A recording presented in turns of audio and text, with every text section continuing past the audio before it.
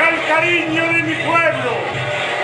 No tengo otro compromiso que el que contraje hace mucho con mi pueblo.